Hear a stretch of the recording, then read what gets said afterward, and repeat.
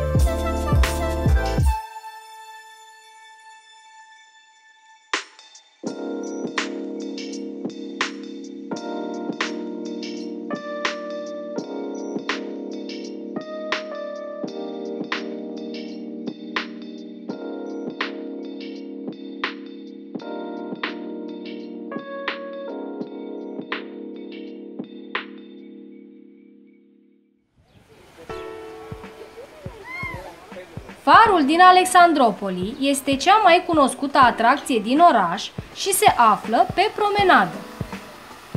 Farul din Alexandropoli a fost construit în anul 1880 și felul în care este luminat după lăsarea întunericului adaugă ceva în plus atmosferei din oraș.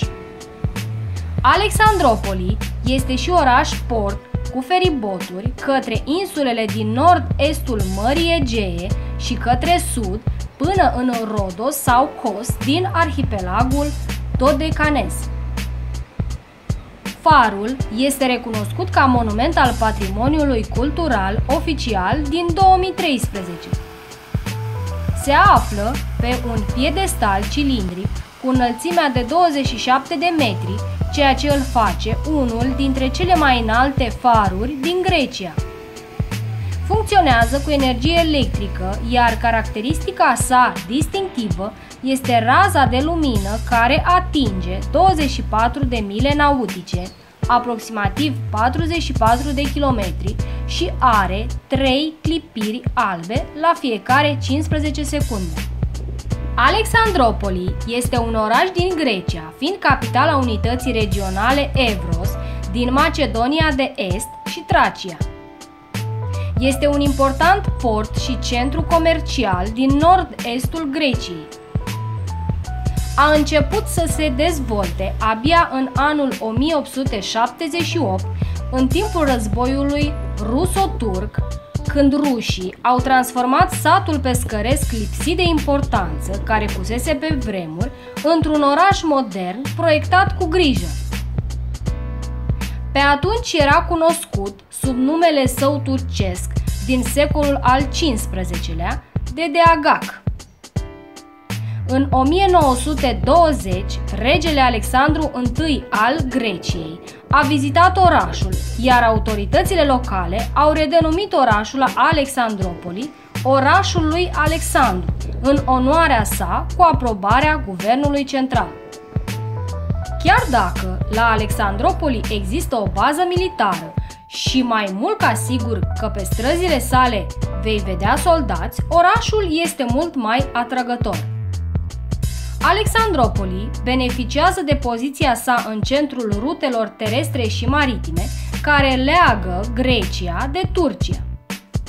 Alexandropoli este cel mai apropiat oraș din Grecia de frontiera cu Turcia, de unde și prezența militară, având legături de cale ferată către Istanbul în Turcia, către Sofia în Bulgaria și Atena via Salonic. În cazul în care vă aflați în timpul sezonului, puteți alege să vă petreceți o zi pe insula Samotraki, la care puteți spera să ajungeți cu ajutorul feribotului, care are plecări regulate din portul Alexandropoli. Este bine de știut că programul curselor Alexandropoli-Samotraki este destul de restrictiv ca atare, dacă ești în extrasezon, posibilitățile de a ajunge în Samotraki și de a te putea întoarce în aceea zi în Alexandropoli sunt minime.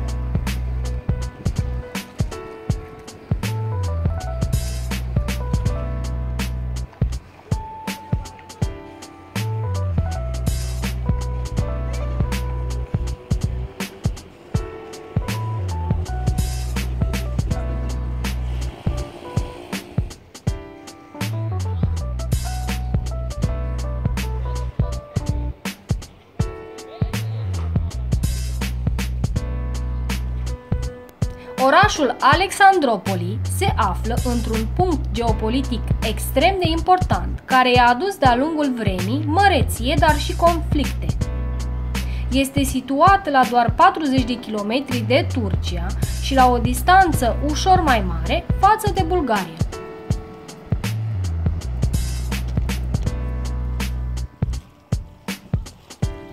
Faleza orașului se întinde de-a lungul bulevardului Apoloniades, pe parcursul căreia se înșiră o mulțime de taverne, toate cu specific grecesc.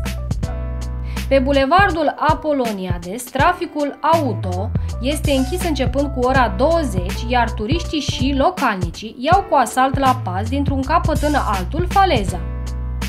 Pictorii talentați în arta modernismului, care lucrează cu vopsea pulverizată, își etalează lucrările pe jos și fac demonstrații în direct.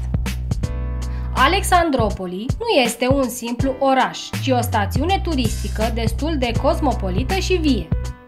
O plimbare la vreme de seară pe bulevardul Democritus vă va arăta partea modernă a Alexandropolisului, cu o viață de noapte dominată de cafenele în tren. Străduțele laterale ascund și ele o mulțime de taverne și cafenele, unele în vogă și tixite cu clienți, altele care par rupte din alt timp.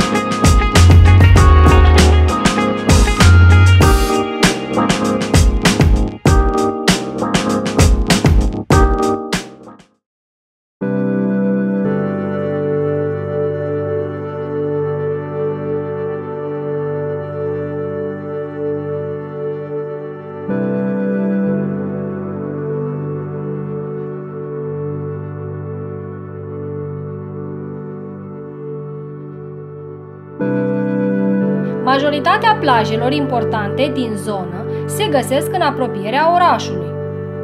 Orașul are de asemenea o regiune de coastă de aproximativ 25 de kilometri, astfel încât nu este nevoie să vă deplasați în alte regiuni apropiate pentru a sta la soare pe nisipul fierbinte. Majoritatea plajelor din regiune sunt premiate cu steagul albastru și sunt foarte bine amenajate.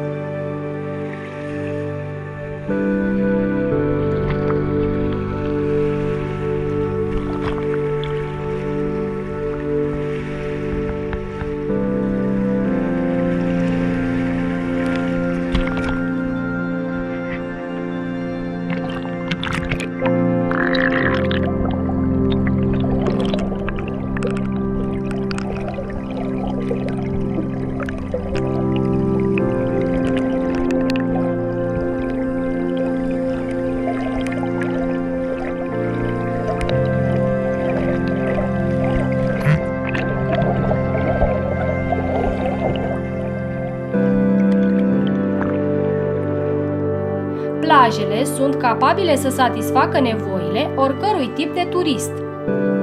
Sunt la fel de bine primiți atât tinerii dornici de petrecere, cât și familiile cu copii.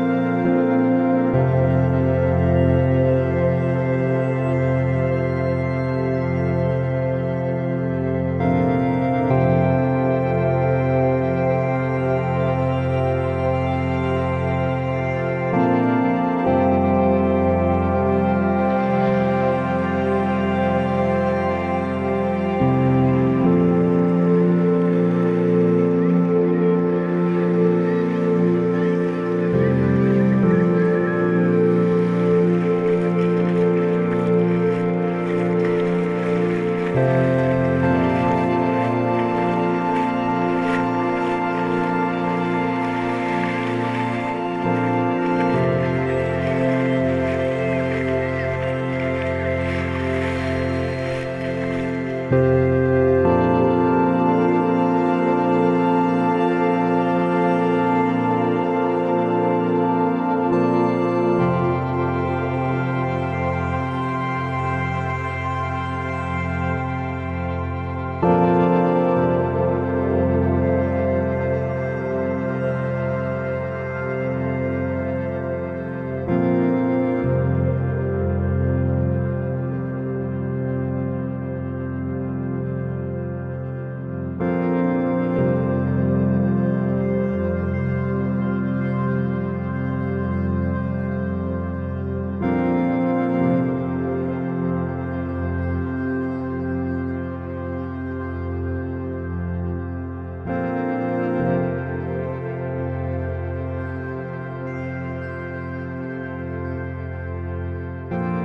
Dacă v-a plăcut acest clip, dați-ne like și subscribe.